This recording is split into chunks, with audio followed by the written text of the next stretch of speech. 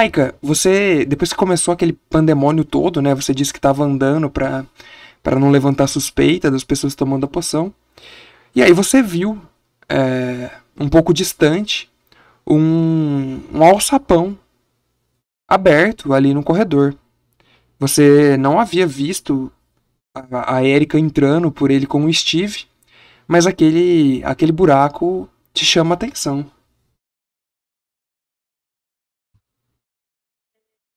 Rapidamente entro no, no buraco pra, pra ver o que, que- onde vai dar.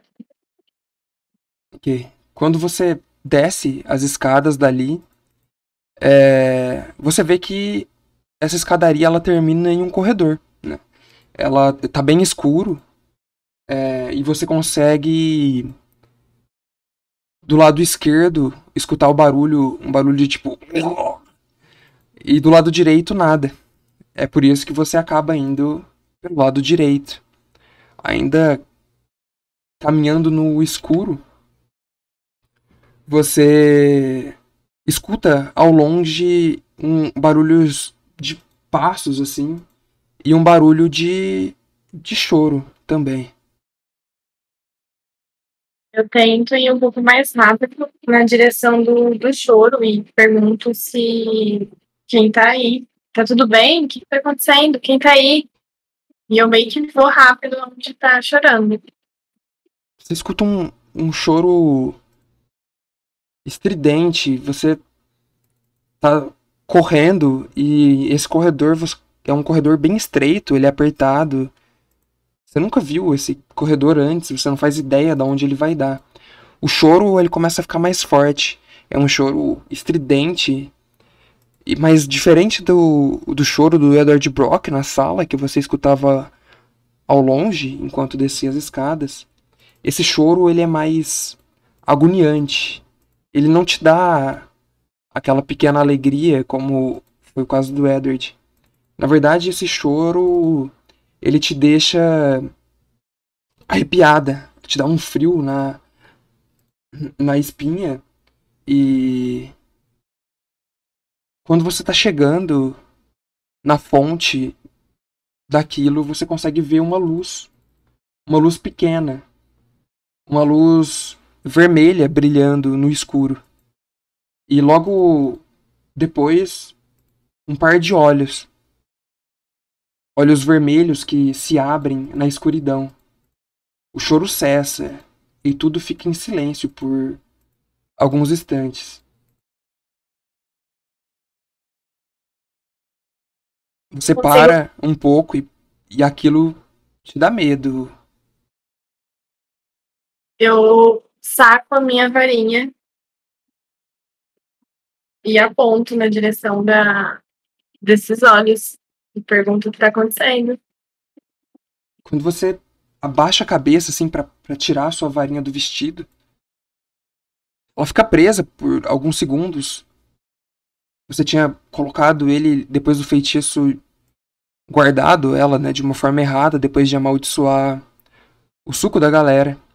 E quando você consegue levantar a cabeça de volta com as varinhas em mãos, você vê aquele par de olhos vermelhos e aquele brilho vermelho muito próximos do seu rosto. Você não escuta mais um barulho de choro, mas sim um grunhido forte, como se fosse uma besta perdida. E depois de ver esses olhos vermelhos bem na sua cara, você só consegue sentir o rasgo. Algo como se fossem várias e várias lâminas rasgam os seus braços. Você não sente dor, por incrível que pareça. Você só sente como se seu corpo tivesse quente, muito quente. Aqueles rasos continuam, dos seus braços passam pro seu corpo e então para suas pernas. Você sente como se tivesse numa banheira, numa banheira de água quente. Mas você se dá conta quando tá caída no chão que não tá banhada de água, mas sim do seu próprio sangue. A sua varinha cai no chão, você escuta o barulho dela rolando por ali. E logo depois, você não sabe quanto tempo se passa, mas você tá ali no chão, deitada e começa a escutar novamente o choro. Ele começa devagar e, e logo vai ficando estridente de novo. Você escuta os passos novamente e aquele choro vai se distanciando de você. Qual é. Quais são as últimas coisas que passam pela cabeça da Raika Burks?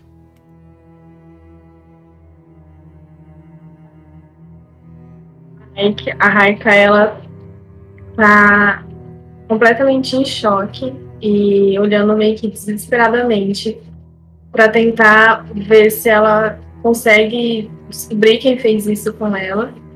E ao mesmo tempo, ela ela começa a pensar muito nos pais dela e pedindo para que eles ajudem, porque ela sempre tentou fazer tudo para dar orgulho para eles e para que eles reconhecessem ela mesmo como uma filha poderosa.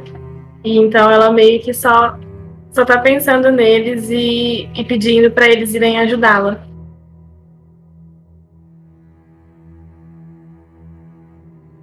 Azael, a gente volta exatamente naquela cena em que terminamos na sessão passada.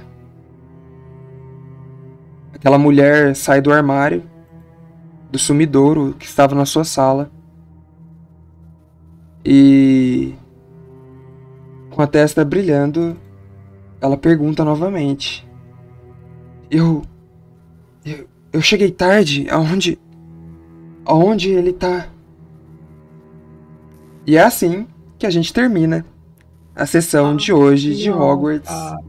Não, não. Estante não, Butempera. Deixa eu salvar aqui. Deixa ele expulso uma semana. Velho, que coisa absurda. Não é possível. Espero que tenham gostado da sessão de hoje. dois. Peraí, peraí, Henrique. Não.